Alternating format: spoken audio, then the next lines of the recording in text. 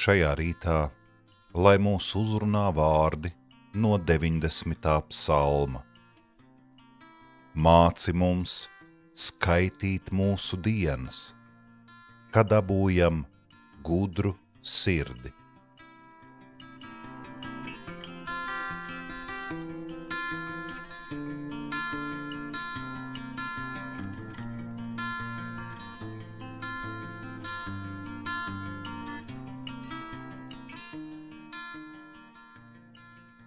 Debes Tēvs, mēs pateicamies par jauno dienu, par vēl vienu šodienu.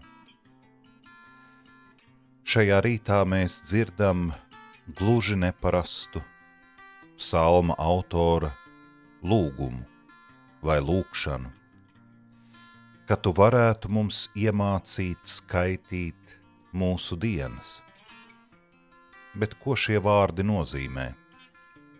Vai tiešām psalma autors vēlas burtiskā nozīmē mehāniski saskaitīt savas dzīves dienas un konstatēt, ka šodien ir kāda tur tūkstoša, kurā tur diena.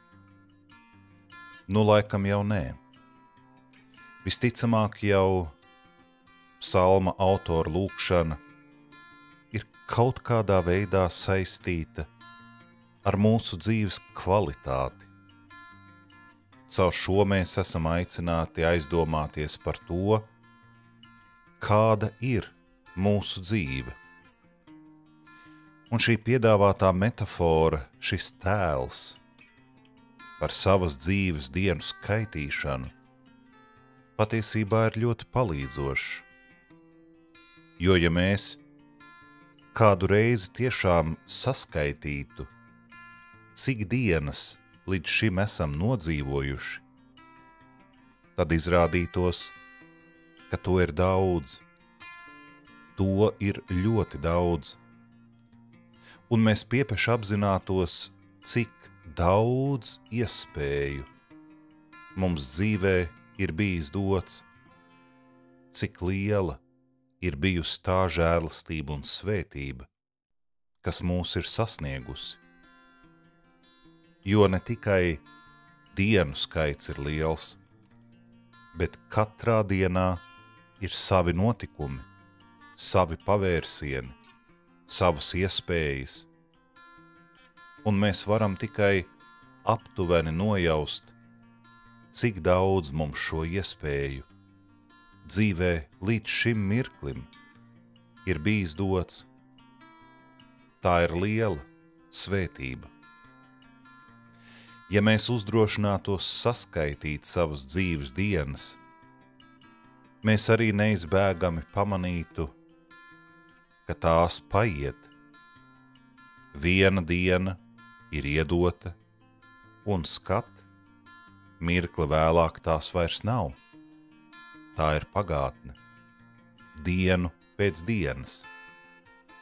Mūsu dzīves dienas paiet, un mēs saprotam, ka cik liela vērtība ir katrai atsevišķajai dienai, kamēr tā vēl ir mūsu rīcībā. Jo pēc 24 stundām mums vairs tās nebūs.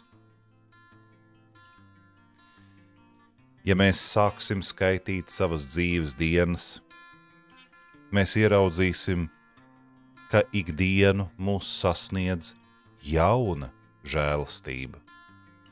Tu, kungs, aizvien mūs uzlūko ar labu prātu, un tu saki, arī šodien es vēlos tev dot iespēju.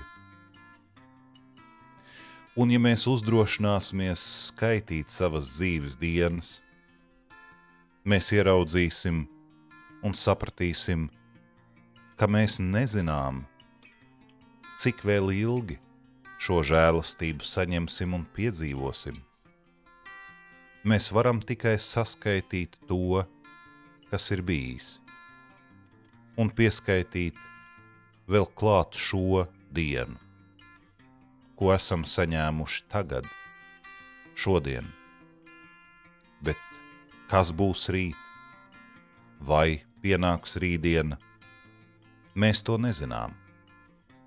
Tādēļ ir labi mācīties skaitīt savas dienas un saprast, cik pateicīgi mēs varam būt par katru žēlastības mirkli. Bet droši vien psalma autors jau līdzteku šim visam uzsvaru liek ne tik daudz uz dzīves dienu mehānisku skaitīšanu, bet ar šo viņš grib aicināt aizdomāties, kā mēs esam pavadījuši šīs dienas, kā esam tās izlietojuši, kādu saturu tajās esam ielikuši. Māci mums skaitīt mūsu dienas, māci mums tās pārskatīt, izvērtēt, jā, izveidot tādu kā bilanci, kā mums ir gājis līdz šim, ko ar to, kas mums ir uzticēts, esam iesākuši.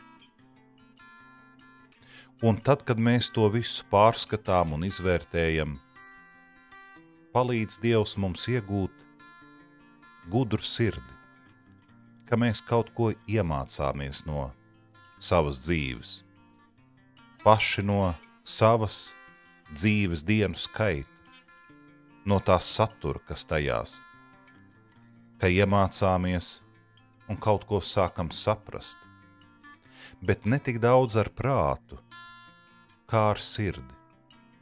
Sirds gudrība, spēja just, spēja just līdzsvaroti, patiesi, autentiski. Jā, spēja gudri just sev pašiem un citiem par svētību. Gudra sirds, tā mums nepieciešama katru dienu, lai cik dienas esam jau nodzīvojuši, lai cik dienas vēl priekšā gudra sirds vajadzīga arī šodien. Mūsu Tēvs debesīs, svētīts lai top tavs vārds, lai nāk tava valstība, tavs prāts, lai notiek kā debesīs, tā arī virs zemes. Mūsu dienascho maizi dodi mums šodien, un piedod mums mūsu parādus, kā arī mēs piedodam saviem parādniekiem, un neieved mūsu kārdināšanā, bet atpestī mūs no ļauna, jo tev pieder valstība, spēks un gods mūžīgi mūžos. Āmen!